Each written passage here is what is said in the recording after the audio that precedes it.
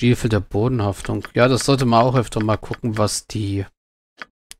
Helm mit Schutz vor Bezauberung ist zum Beispiel auch nicht schlecht. Und Holzflöcke brauchen wir später, wenn wir gegen Vampire vorgehen wollen. Ja, einen Tempel werden wir allerdings nicht beklauen.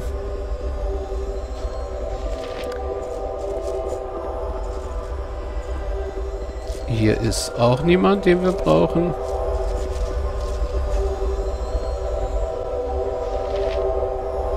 Du bist eine Morgenritterin. Das heißt, du musst hier oben sein, oder? Sein, Priester der Dämon. Ja, der hohe Priester. Da, genau. Oder hoher Morgenmeister. Was ist mit dir? Der Morgenfürst heißt euch willkommen. Ich... Ich... Ihr müsst mich entschuldigen, werte Dame. Ich hatte bisher nicht die Gelegenheit, mit euch zu sprechen.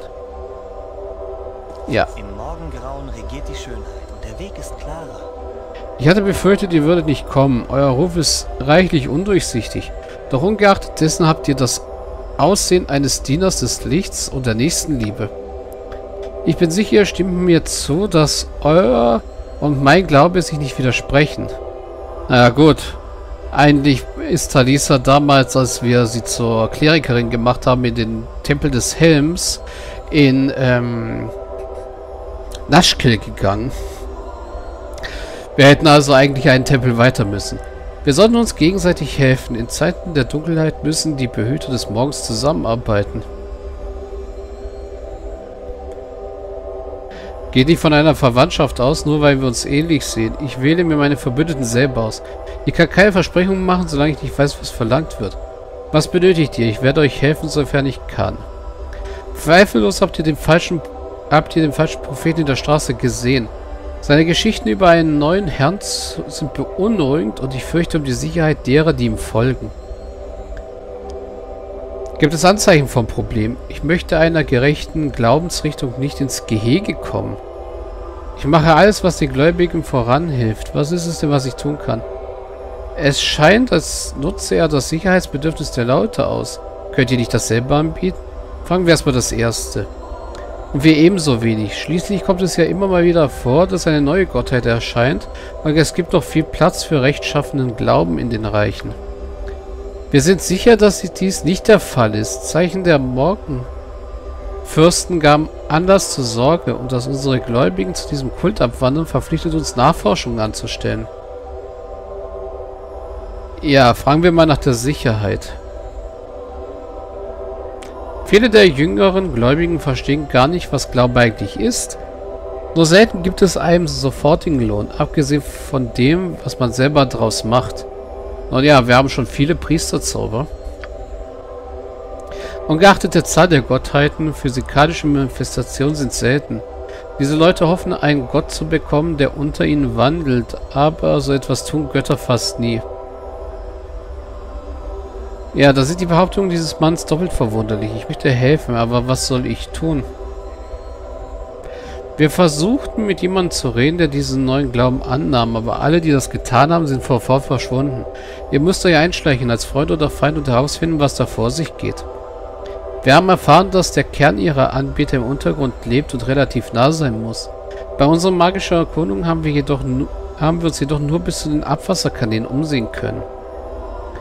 So unangenehm es auch erscheinen mag, ihr müsst durch die Kanäle hindurch. Ganz offensichtlich hausen diese Leute nicht zwischen den Abwasserleitungen. Also muss es einen Weg hinaus geben. Ja. Dann fragt nicht weiter. Ich werde in den tiefen Vorstoßen und mit den Antworten zurückkehren.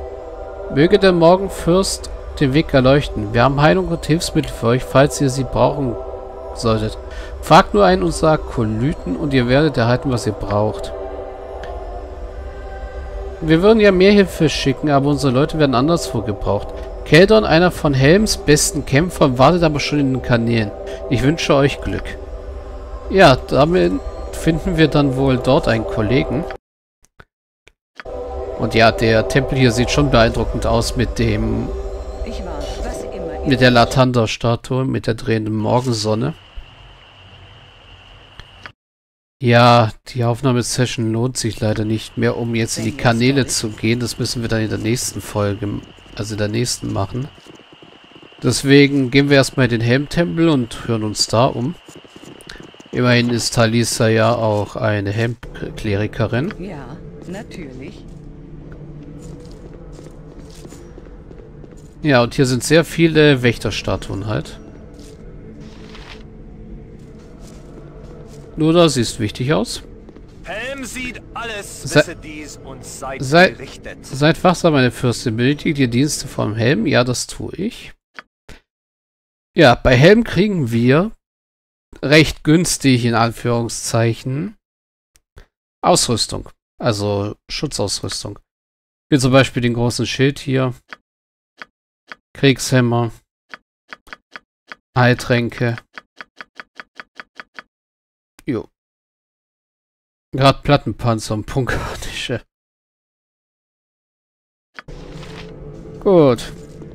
Gucken wir mal, wie wir hier sonst noch finden. Hier ist niemand. Das ist verschlossen. Wie gesagt, von den Priestern hier klauen wir kein Geld. Wir nehmen höchstens Zeug mit, was nützlich sein kann. Schlafbaracken. Also ja, Bücher sind nichts wert, deswegen bleiben sie auch liegen.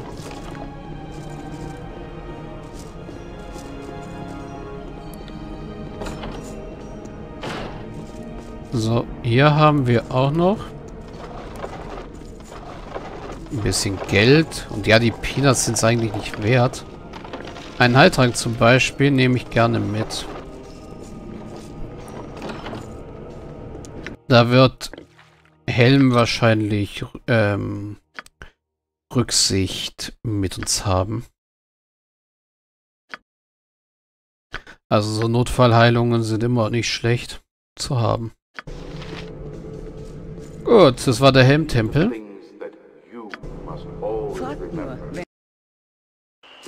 Der, wie ich finde, auch recht cool aussieht.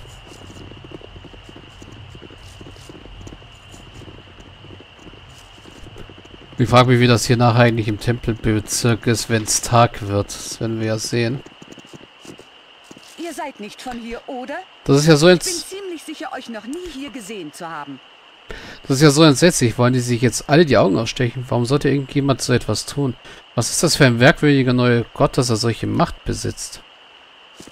Mir gefällt überhaupt nicht, wie ihr ausseht. Ich kann nicht glauben, dass eine solche Blasphemie geduldet und gefördert wird. Ausgerechnet hier. Das ist der Untergang der Stadt, ich schwöre es. Ich. Ich habe nichts, was ihr brauchen könntet. Das ist nur eine. Das ist. Was ist das für eine entsetzliche Sache? Warum hören Sie ihm zu? Warum? Ja, hier könnten wir auch in den Tempel von Latanda rein.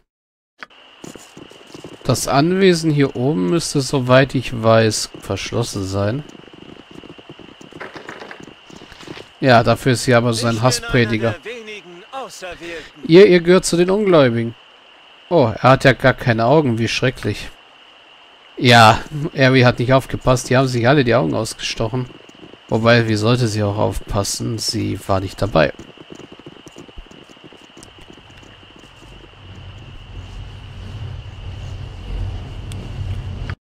Ja, hier ist noch der Tempel von Talos, in den wir reingucken können. Hier in die hohe Halle gucken wir dann rein, wenn wir uns den Rest angeguckt haben.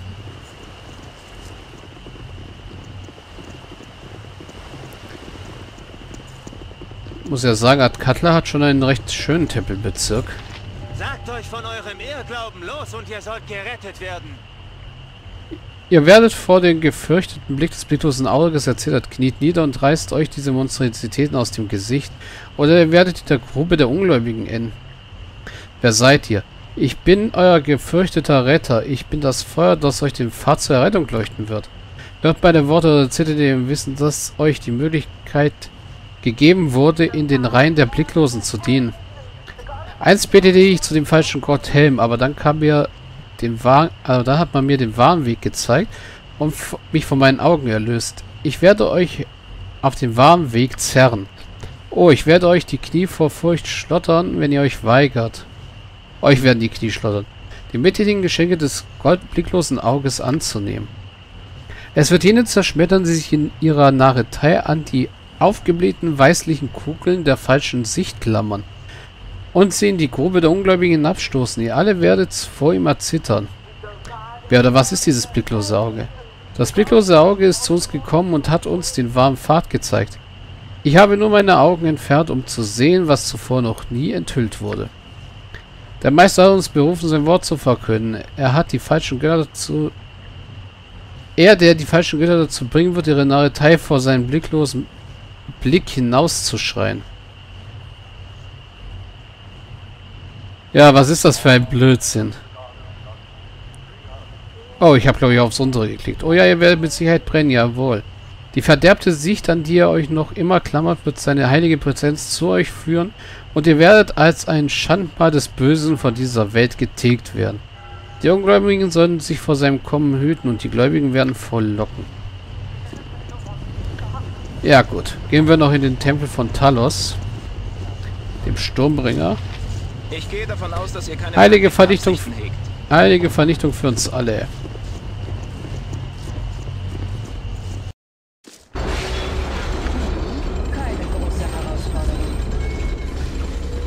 Ja.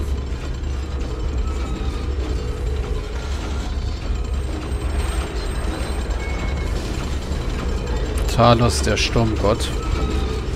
Hier ist die Türe eingeschlagen und Meisterin Ada pennt hier.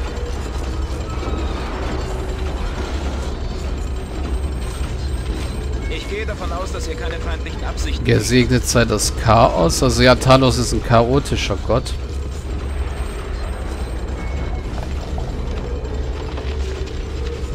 Die Gegengifte nehme ich mit. Man weiß nie, wann man mal ein Gegengift gebrauchen kann.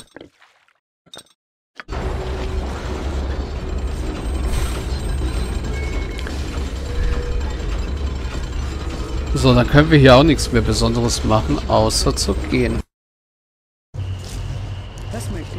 So.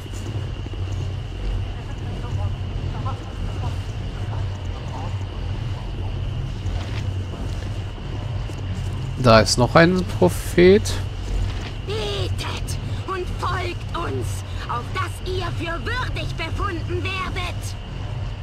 Ihr da, ihr seid einer der Ungläubigen, der über die Sicht verfügt. Verneigt euch vor dem blicklosen Auge und huldigt seiner göttlichen Majestät.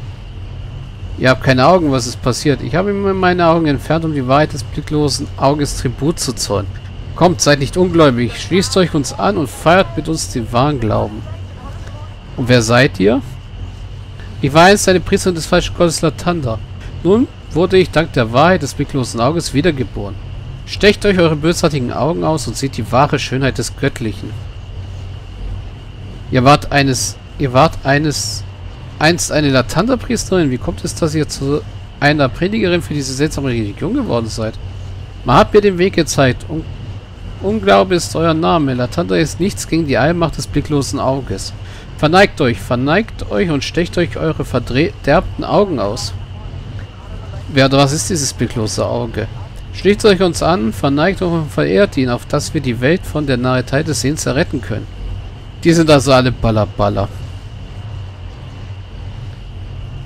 Denkt ihr nicht, dass Latanta, Helm und der ganze Rest nicht wirklich so begeistert über dieses neue Mitglied der Götterfamilie sein werden? Sie zittern und kriegen vor der Macht des blicklosen Auges. Die Ungläubigen werden sich vor ihm hüten müssen und die Gläubigen werden ihre unheilige Fähigkeit zu sehen ablegen, um seine göttliche Gnade zu bitten.